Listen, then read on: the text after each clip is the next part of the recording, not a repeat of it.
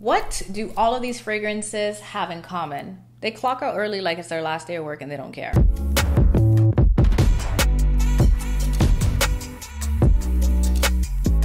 Hey loves, it's A back on your screen with another one. Hope you're all well. In this video, I'm going to be sharing with you five of my go-to tips to making fragrances last longer.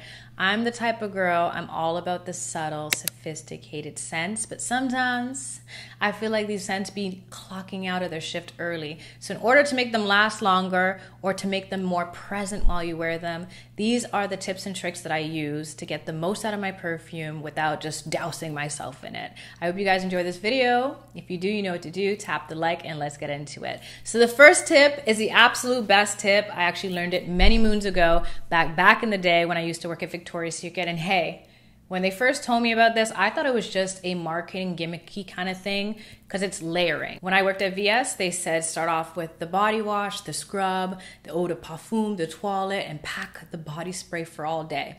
Now, if you have to put that much stuff on, that means nothing is strong enough. But what I would say instead, if you have something that is very light and delicate, but you love the scent of, spray it fresh out the shower. I find anytime when I grab a perfume right after I've patted my body dry and moisturized that it binds better to the skin because the skin is receptive to absorbing it the moisture. And of course, when you lotion your body, it acts as a emollient to bind to the perfume. If you spray on your dry skin, it's just gonna aerate. It's gonna be like dust. Okay, maybe it won't be, but it definitely binds way better when it's binding to something. If you forget to, or you're in a rush, or you have something else to do before, and you can't put perfume on right away, put it on on your lingeries, your lingerie.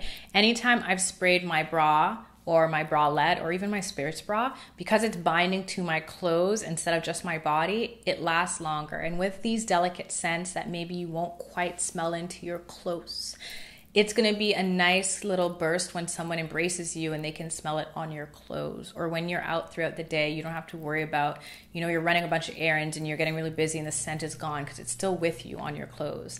I like spraying my lingerie over spraying my clothes because i've had too many situations where i have that little spot or that ring where the perfume was and i just it's a no for me. I'd rather know that my lingerie is where the secret scent is hidden and there's no surprise spots of where I might have misted myself and done the most, or the color from a perfume, or the alcohol has turned some of the fabric color. Like, just no, just no, just no. My third point, the most important one, I'm sure you know this, but if you don't, you're gonna know today. Your pulse points are your best friend.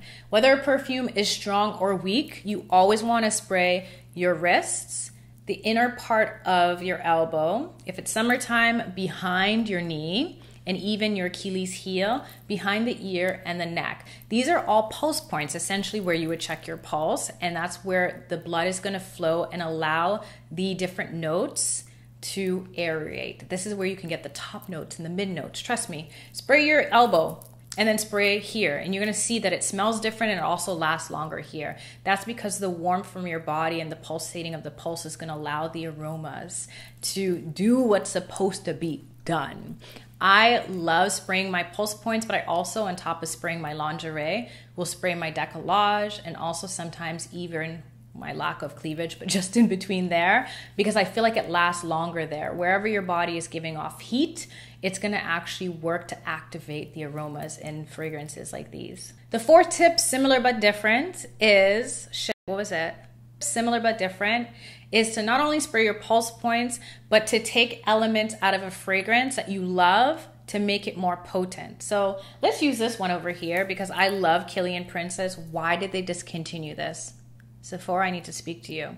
But the only thing I did not like about Princess is that it would never last. Like by the time I spray this and head to the door, where's the perfume? It is no more. So what I do to make perfumes like this last is I'll Google the notes that are in here and then buy another perfume or an essence, an oil, essential oil that's safe for the body and apply it as the base before I add this. This way, the thing that I love most about this perfume, which is the matcha, is gonna be the most potent part that also helps the perfume bind to your body. You can also do this by mixing and layering other perfumes. Say you have a perfume that's similar, different, or complements well. You spray that first, you spray this on top. Trust me, it will last, and that's what you call a signature scent. The last tip is when all else fails, create a cloud, okay? I don't really like this tip to be honest. I only really do it if I'm in a rush and for whatever reason I need to refresh myself, but I'll spray above me, kind of like in a spiral motion. That way you're creating a tornado of fragrance. It's gonna stick to your hair, it's gonna bind onto your shoulders, it's gonna lightly mist your clothes without staining it. So create a cloud. Essentially, I'm sure you've seen this before. Don't do this with perfumes that are strong because then you're gonna be that chick. Wait, actually, let me not judge. If you like coming in strong where the scent comes in the room before you do, if you like it, I love it. But personally, I like my scent to be something you can smell from about arm's length away and it's not crazy.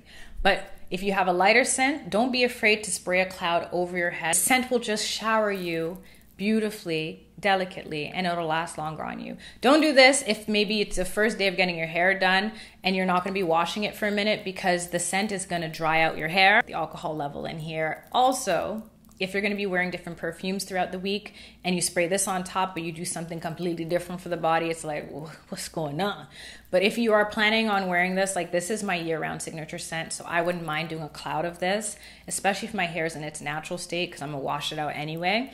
But more often than not i'll use the other four tips. This is more like a last ditch effort if i really need to do the most create a cloud. If the perfume comes on too strong, you create the cloud away from you and you step into it. Perfection, trust me. Try it next time you have a potent perfume. When the perfume is not giving what it's supposed to, then you spray yourself around yourself and you just allow it to sink into your body. So, anyway, those are the five tips I got. If you have another tip, leave it for the community down below or let me know which one you're gonna try first with one of your more delicate fragrances. I hope you guys enjoy this one and until next time, stay safe, stay sane, stay blessed blessed. Love and later.